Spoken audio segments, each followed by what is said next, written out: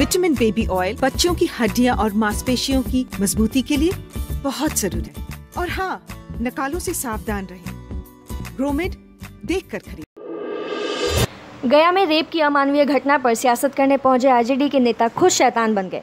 हैवानियत की शिकार बनी नाबालिग लड़की राजद के नेताओं के सामने रोती गिड़गिड़ाती रही, लेकिन आरजेडी के नेता सैकड़ों लोगों की मौजूदगी में जबरन उसे रेप का किस्सा सुनाने को मजबूर करते रहे। हैवानियत की शिकार बनी लड़की की पीड़ा से पूरा देश दुखी है, लेकिन उस पर सियासत करने पर आमदा इन आरजेडी नेताओं को शर्म नहीं आई।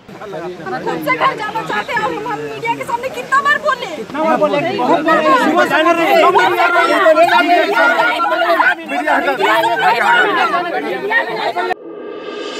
झारखंड में रघुवर राज में भूख से मौत का सिलसिला लगातार जारी है पिछले एक महीने में भूख से दो मौत के बाद अब एक और मामला रामगढ़ में सामने आया है बताया जाता है कि मांडू प्रखंड के रहने वाले चिंतामन मल्हार की मौत कथित तौर पर भूख की वजह से हुई है।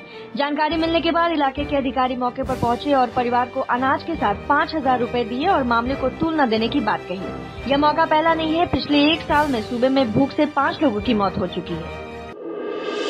पलामू में आज दिन दहाड़े चौवन लाख रुपए की लूट की वारदात को अंजाम दिया गया। दरअसल डाल्टनगंज आईसीआईसी बैंक से रुपए निकालकर कैश वैन तक जा रहे कर्मियों को अपराधियों ने अपना निशाना बनाया। डाल्टनगंज के जिला स्कूल चौक के नज़दीक इस वारदात को अंजाम दिया गया। सूचना मिलने के बाद पुलिस ने पूरे इलाके की घेराबंदी कर लुटेरों की तलाश तेज कर दी है। सीमा पार से लगातार जारी आतंकी घटनाओं के बीच सुरक्षा बलों को खबर मिली है कि इस बार आतंकी अमरनाथ यात्रा को निशाना बना सकते हैं। खुफिया विभाग की सूचना के बाद गृह मंत्रालय ने सुरक्षा एजेंसियों को सतर्क रहने को कहा है। बता दें कि इस बार अमरनाथ यात्रा 28 जून से शुरू है, जिसे लेकर सुरक्षा के तगड़े इंतज़ाम देखने को मिलेंगे। जामताड़ा के फतेहपुर में इन दिनों डायरिया का प्रकोप देखा जा रहा है। पिछले 10 दिनों में डायरिया की वजह से 200 से अधिक लोग बीमार हुए हैं। गंभीर रूप से बीमार लोगों को इलाज के लिए अस्पताल में भर्ती कराया गया है, साथ ही प्रशासन की टीम इलाके में कैंप कर हालात का जायजा ले रही है। बताया जाता है कि इलाके में पीने के लिए साफ़ पानी की कमी के कारण बीमारी ने लोगों को अपनी चपेट में ले लिया। गोपालगंज में गौ रक्षा के नाम पर गुंडागर्दी की नई तस्वीरें सामने आई है। बताया जाता है कि उत्तर प्रदेश से मवेशी लेकर आ रहे दो तस्करों को पहले तो ग्रामीणों ने बंधक बनाया, फिर कमरे में बंदकर उनकी पिटाई करनी शुरू कर दी। जानकारी मिलने के बाद पुलिस मौके पर पहुँची और घायल तस्करों को मुक्त कराई इलाज के लिए अस्पताल में भर्ती कराया गया। फ़िलहाल पुलिस ने पिटाई की वारदात में शामिल लोगों के खिलाफ कार्रवाई शुरू कर दी है। राजस्थान से चली धूल भरी हवा से उत्तरी भारत के मैदानी भाग के आकाश में भी धुंध दिख रही है। इसका सीधा असर अब बिहार के पटना समेत आसपास के शहरों में देखा जा रहा है।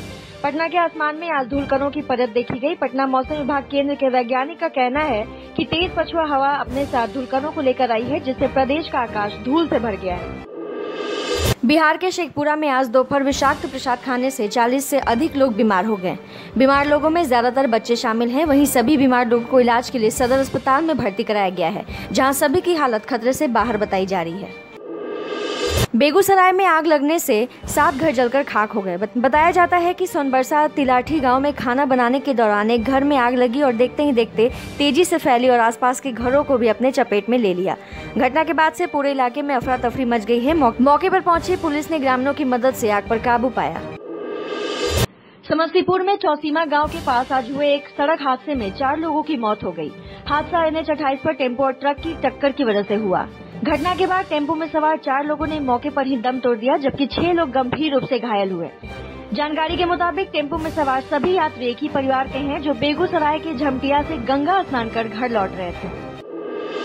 केंद्रीय शिक्षा सचिव अनिल स्वरूप के झारखंड दौरे के बाद राज्य सरकार ने ये साफ़ किया है कि अगले तीन महीने के अंदर राज्य में सत्रह हज़ार स्नातक प्रशिक्षित शिक्षकों की नियुक्ति की जाएगी। सरकार ने बताया कि इसके लिए बाकायदा चयन प्रक्रिया जारी है, जिसे जल्द ही पूरा कर लिया जाएगा। राज्य की खराब शिक्षा व्यवस्था पर केंद्रीय शिक्षा सचिव ने नाराज़गी जताते हुए झारखंड को छत्तीसगढ़ से सीख लेने की बात कही। रुपए में गिरावट का सिलसिला थमने का नाम नहीं ले रहा है। शुक्रवार को डॉलर के मुकाबले रुपया एक बार फिर अड़सठ के स्तर को पार कर गया।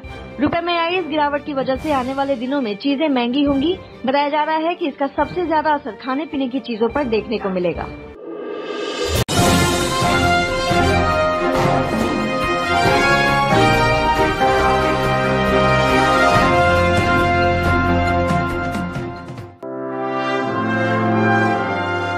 बस एक बटन दबाएँ और जीते ढेरों इनाम। मोबाइल घड़ियाँ, चांदी के सिक्के और ढेरों इनाम। बस रिपोर्टर्स इलेवन को सब्सक्राइब करें और बेल आइकन दबाएँ और बन जाए विजेता। अब आप भी बने रिपोर्टर और भेजें अपनी खबरें। सिर्फ़ रिपोर्टर्स इलेवन पर। सच दिखाने की ताकत रखते हैं हम। अगर आपके अंदर है कुछ करने का दम तो हमसे जुड़े।